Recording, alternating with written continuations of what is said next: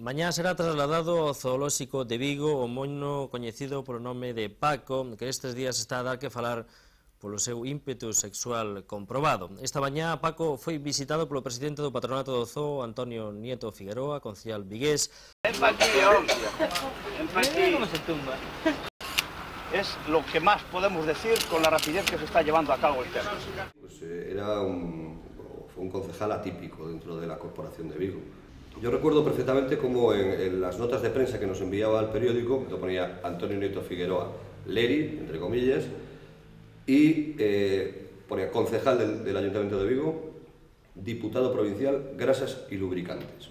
Entonces, una persona ya que se presenta eh, como concejal, como diputado provincial y como grasas y lubricantes, ya es una persona de por sí eh, pintoresca, ¿no? Llamaba la atención. ah, ah, ah, 哦。